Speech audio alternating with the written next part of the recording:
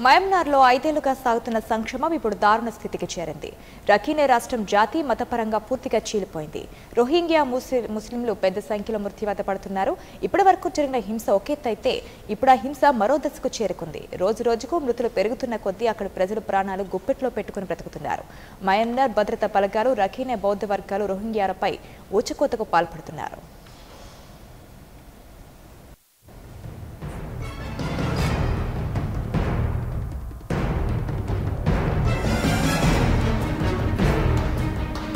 మయన్మార్లో తొంభై శాతం బుద్ధిస్టులు ఉంటే పది శాతం మాత్రం రోహింగ్య ముస్లింలు అంటే మైనారిటీ ముస్లింలు ఉంటున్నారు.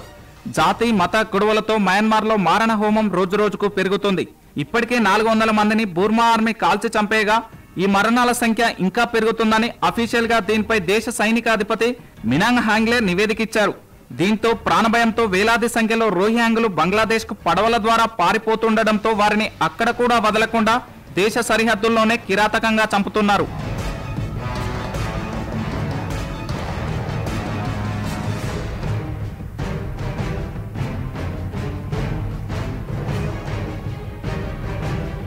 ఊచకోతలపై పుకార్లతో భద్రతా బలగాలు ఉగ్రవాదులు దేశంలోని రోహింగ్య ముస్లింలు ఉంటున్న గ్రామాల్ని తగలబెడుతుండటంతో ఉద్రిక్తతలు మరింతగా పెరిగాయి. ఇక ప్రాణభయంతో సైనిక ఆపరేషన్ల కారణంగా చెల్లాచెదురైన సుమారు ఇరవై వేల మంది బంగ్లాదేశ్ సరిహద్దులకు చేరారు. దీన్నే ఆసరగా తీసుకుని మరింత మంది నాఫ్ నదిని దాటేందుకు సొంతగా తయారు చేసుకున్న తాత్కాలిక పడవలపై వెళ్ళడంతో ఎంతో మంది నదిలో మునిగి మరణించారు. పైగా ఇటీవల నెలకొన్న హింసతో ఇరవై ఏడు వేలకు పైగా రోహింగ్య ముస్లింలు దేశాన్ని వదిలి పారిపోయినట్లు ఐరాస తెలిపింది.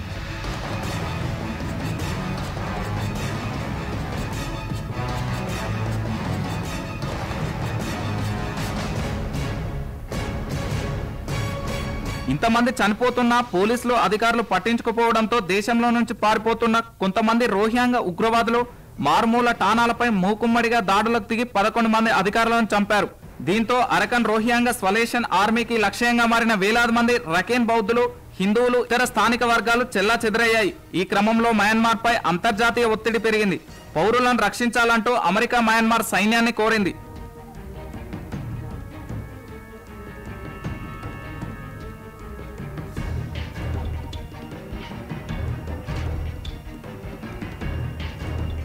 ఇదిలా ఉంటే రోహింగ్యాలను ఆయా దేశాల నుంచి తిప్పి పంపడాన్ని వ్యతిరేకిస్తున్న పిటిషన్ను ఢిల్లీ సుప్రీంకోర్టు విచారించనుంది. రోహింగ్య ముస్లిం శరణార్థుల్ని మయన్మార్కు తిప్పి పంపడానికి వ్యతిరేకిస్తూ దాఖలైన పిటిషన్పై ఈ నెల విచారణ చేపట్టేందుకు సుప్రీంకోర్టు అంగీకరించింది.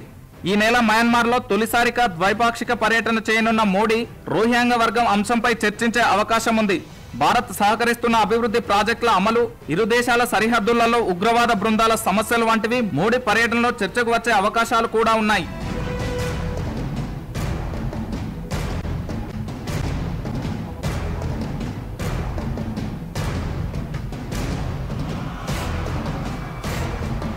ఏది ఏమైనప్పటికీ మయన్మార్లోని రోహింగ్య ముస్లింలపై జరుగుతున్న దాడులను పలు దేశాలు వ్యతిరేకిస్తున్నప్పటికీ అనేక అంశాలు ఇందులో కూడుకొని ఉన్నట్లు తెలుస్తుంది.